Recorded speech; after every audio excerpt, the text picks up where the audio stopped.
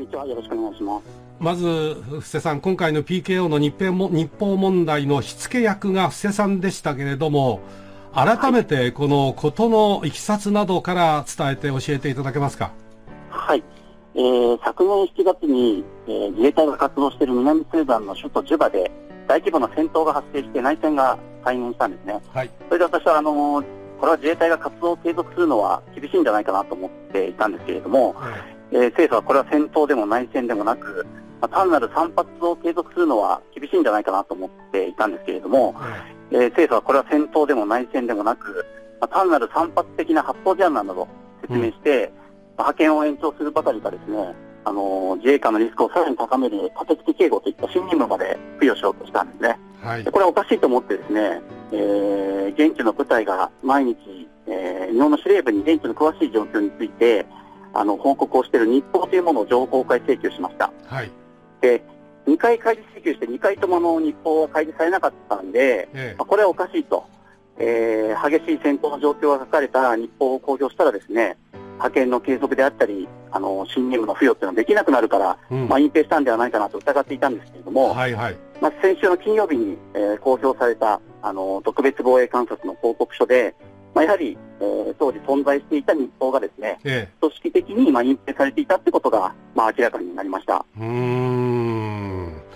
でこの日報の明らかになったことから、えー、はい、この大臣まで含めて、その事実というものを隠蔽しようとする姿といいましょうか、状況が見えてきたわけですね。はい。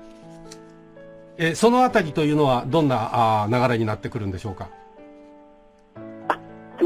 こえなかったですあ、えー、つまりその日報というものが、あその何が書かれていて、はい、南スーダンで実際に何があったのかということが、これがこの伏せられてきて、はい、その表に出さないような、はい、そんなあ流れになってきたわけですが、そうですね、えー、そのあたりのもう少し詳しいいきさつなどを伝えていただけますか？はい、あそうですね、あのー、結局、昨年の7月に私、あの初めて情報公開請求もしまして、えー、あのー、これがまあ適正に、まあ、隠蔽がなくてですね、はい、適正に処理をされていれば、まあ、昨年の9月にはこの日報が明らかになっていたんですね。で、その日報には、まあ、2月に今年公表されたんですけれども、何が書かれていたかというと、あの政府が当時言っていた散発的な発砲事案どころではなくてですね、うん、まあ、自衛隊の宿営地のすぐ横で、あの政府軍と安定軍がですね、でそういったあの中で自衛隊自身も巻き込まれる危険性があったと認識していたと、そういうこともあの日本には書かれていたんですね。うん、でこういうことがじゃあ9月の段階で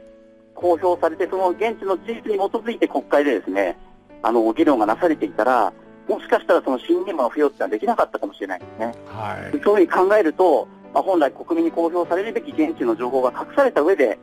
えー、この新任務の付与っていうのは、より自衛官のリスクを高める新任務の付与っていうのが、うん、まあ、閣議決定されたっていうことはですね、はい、非常にやはりこの結果責任というのは重大ですし、うん、まあ、今までやめましたけれども、やはりあの安倍内閣そのものの責任が問われるんじゃないかなというふうに私は考えてます。そうですね、布施さん、あの今日稲田氏が自身の辞任を受けての離任式に出席して、はい、防衛省の職員たちを前に挨拶しているんですが、その一部ですが、えー、えー、布施さんもちょっと一緒にお聞きください。はい、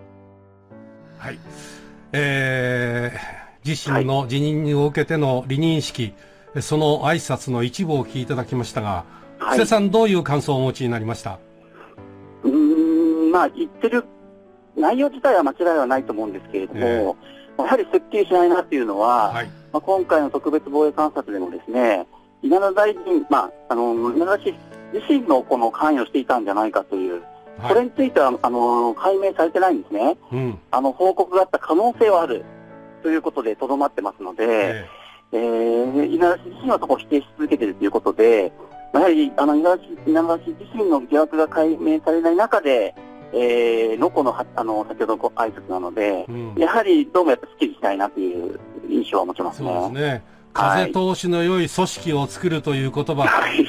何かこれが寒々とする一言ですね。えーえー、それと、あの、もう一つお伺いしたいんですが、布施さん、そもそも、南スーダンに自衛隊の派遣ってのはあっ行く必要あったんですかね、これ、そもそも無理だったんじゃないかなって気がするんですが。はい、えーと、南スーダンの PTO に派遣したのは民主党政権の時代ですけれども、え当時はですねあのいわゆるその紛争状態ということではなくて、ですね、はい、あの南スーダンという国が、まあ、スーダンから独立をすると、しかしまだあの非常に内戦、長い内戦の上に独立をするということで、あの国情が不安定だと、はい、まあ、そういった点で、まあ、国づくり支援ということで始まったんですね。はい、えただその後、2013年の12月に、えーですね、その段階でもう、ここはもう撤収しなければならない、はい、そういう判断も迫られていたかと思うんですよね。えー、まさにそうだと思います。はい。えー、そのあたりの判断、報告、はい、このあたり大きいんじゃないかと思うんですが。えー、あの実際に2013年えー、これも公表はされてないんですけれども、えー、私が入手した内部の資料では、あの撤収の検討っていうのは具体的に始めていたんですね。はい、えー、そういう点で、あのー、やはりこう、その、こうこの撤収の判断ってのはちょっと遅れたら隊員の方たちの命に関わりますし、えー、撤収できない状況になってしまうかもしれないんですね。でそういう点でもやはり、あのー、その現地の情報っていうのはしっかりと、えー、公開をしてですね、はい、国会等でしっかり今、あのー、何をすべきかっていう判断を迅速に行えるような形でやる必要があるんですが、まあ、残念ながら日本政府はですね、もうとにかく派遣継続ありきで、秋からこの新任も付与するという、もう結論ありきで、まあ、家計問題じゃないですけれども、はい、あの、進んでいったために、まあ、非常にこう、その判断に歪められたんじゃないかなというふうに感じます。そうですね。この後の閉会中審査という動きもありますし、また、はい、あ次なる国会の中でも、これはっきりとしておいてほしいもんですよね。そうですね。えー、はい。布施さんどうもお忙しいところありがとうございました。ありがとうございました。はい、失礼します。えー、ジャーナリスト布施友人さんにお話を伺いました。